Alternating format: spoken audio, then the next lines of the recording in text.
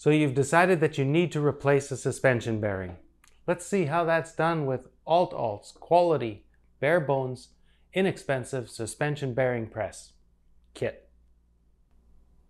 The Alt-Alt bearing press does the same job as other bearing presses, but since it's designed from the ground up to be less expensive, it works a little bit differently. Our kit is made of simple parts which can be used together to remove and install many different size suspension bearings. So here's the kit. To do the squeezing is a simple screw and a nut. These parts are called pilots. They fit inside of the bearing and their purpose is to center the tool onto the bearing. These are called drifts.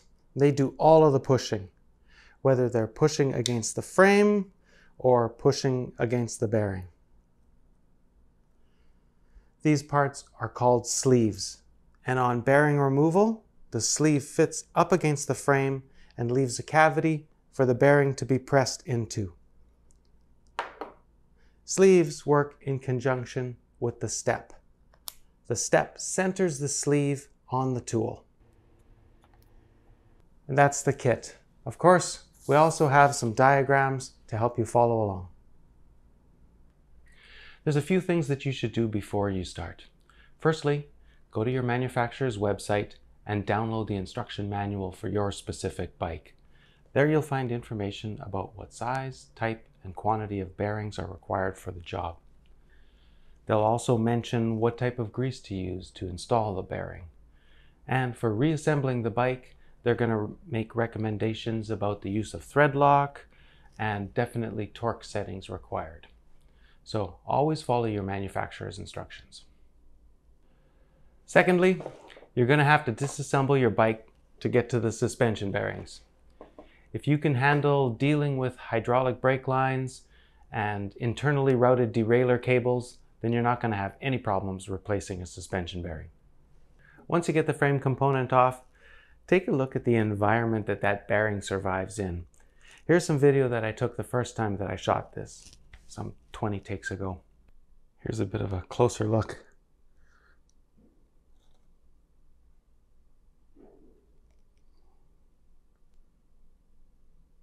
Now the bearing tool presses up against the frame, so remove any grit that you have around this area.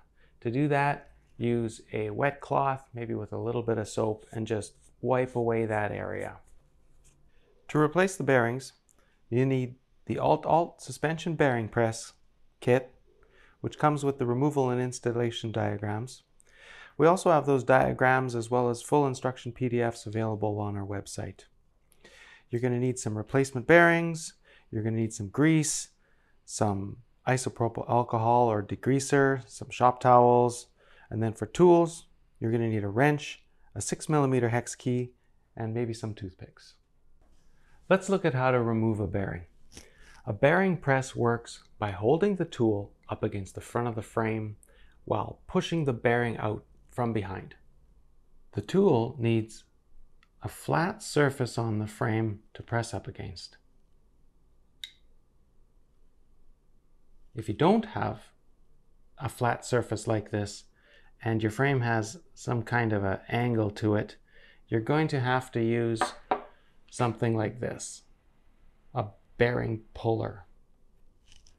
A bearing puller works by inserting these jaws into your bearing, widening the jaws, clamping down the frame, and then hammering out the bearing.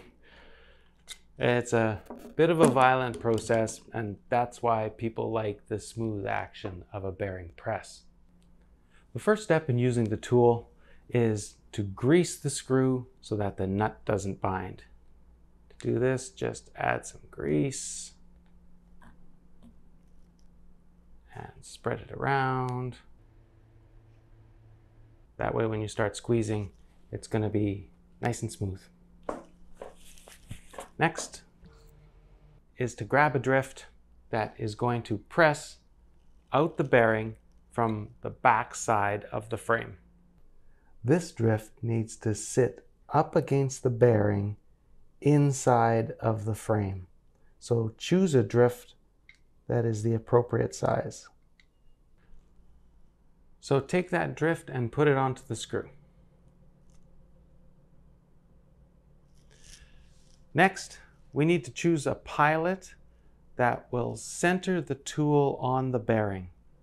Now, if your bearing is so small that even the smallest pilot doesn't fit inside, don't use a pilot. This bearing will fit onto the screw nicely. This works great for 8 and 9 millimeter bearings. So for our bearing, choose the largest pilot that will fit inside the bearing. That's this one. So take this pilot and also put it on the screw. There.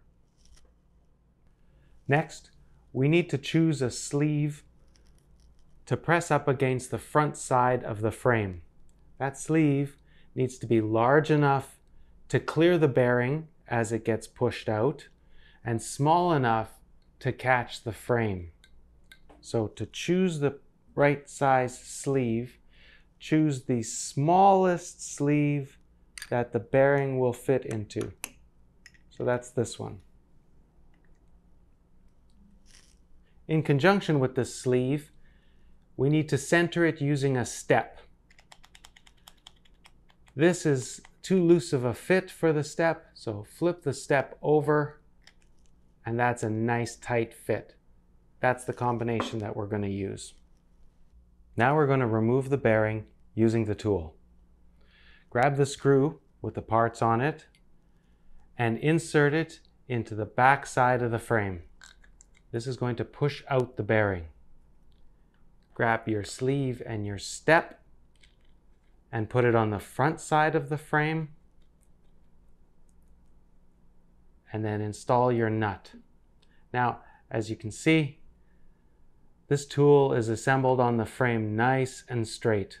This bearing is going to get pushed out of the frame without damaging the frame. Now, a word of warning.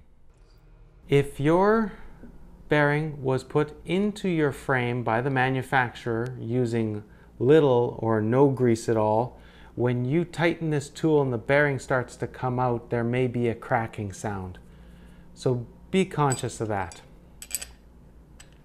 So grab your wrench and your hex key and start turning. So right now, you can hear a cracking sound, but that's normal. That's just the bearing coming out of the frame. There.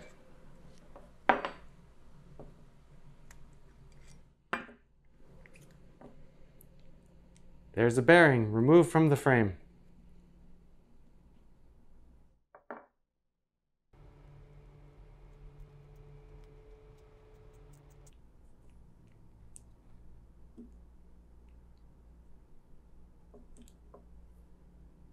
Before you go and install your new bearing into your frame, you should probably make sure that the seat is nice and clean. A bearing just came out of it, so it should be pretty clean, but if you got any gunk or grit in there, it's gonna get trapped between the bearing and it's gonna mess up your paint in there and not cause the bearing to sit very well. So you'll wanna get in there and just kind of wipe it out. If it's particularly gunky, you can get in there with some isopropyl alcohol or some degreaser and clean that out. If there's some crud in there, you can get in there with a toothpick and get right into the corner without scratching your paint. So now that that's nice and clean, you can get ready to put your bearing in. A bearing press installs a bearing by holding on to the back of the frame and pressing the bearing in through the front so that you don't damage your new bearing or your frame during this process, there's two things to keep in mind. The first thing is that this bearing must go into the frame perfectly straight. A crooked install will damage the seat beyond repair. Nobody wants to buy new frame components in 2021. The second thing to consider is where on the bearing you press to push it into the seat.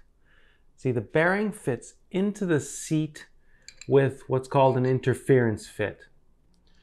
This means that the inner diameter of the frame is actually smaller than the outer diameter of the bearing.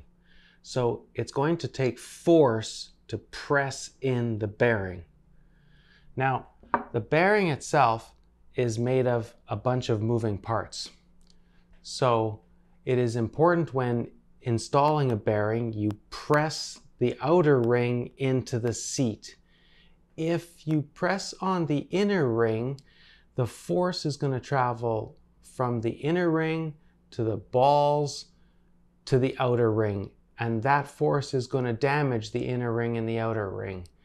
You will be able to get the bearing into the seat, but the damage that you cause to the bearing is going to make the bearing wear out a lot faster. So it's important that when you install a bearing, you apply force to this thin outer ring. Because it's so thin, you need an accurate tool to do that.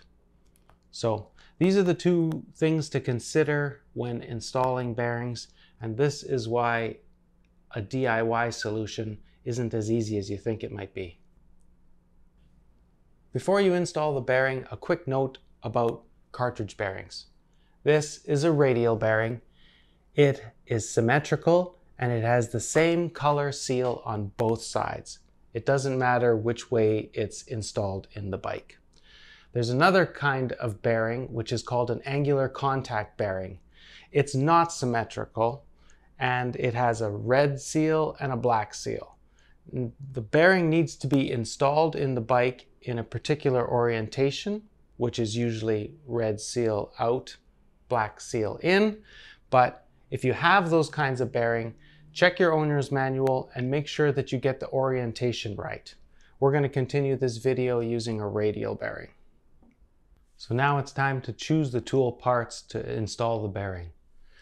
First, you've got your screw, which make sure it's still got grease on it. Next is to choose a drift to press up against the back side of the frame. This drift needs to be large enough to cover the hole in the back of the frame by a couple of millimeters. It also needs to sit nice and flat up against the frame. So once you have that drift, put that on your screw. And then you need one more drift. This is the drift that needs to be the exact diameter as your bearing. That way we don't cause any damage to the bearing on install. The next step is to grease the bearing. So check your owner's manual, see if there's any special kind of grease. Just give the bearing a quick little layer. And then, what the heck, while we're at it, get it in the seat too. Any excess is just going to be wiped off later. So don't be shy. Okay, once that's all greased up, the next step is to assemble the tool. You can take a quick peek at your diagram. So this is the larger drift and it fits against the backside of the frame. Then we're going to need to grab the pilot, same pilot as before. It's the largest pilot that fits into the bearing. That goes on the front side of the frame. And then this is the drift that is the exact same diameter as the bearing. Just tighten that up. Now before you start tightening, make sure that the tool is nice and square onto the frame. This way we won't damage the frame when we install the bearing. So once it's all straight, grab your wrench and your hex and start turning.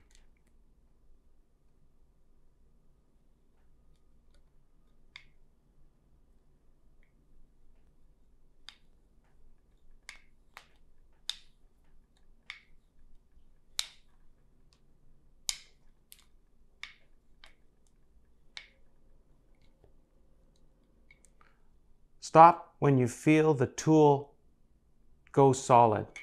That's the feeling of the bearing hitting the bottom of the seat. To check that it's at the bottom of the seat, undo the tool and have a look.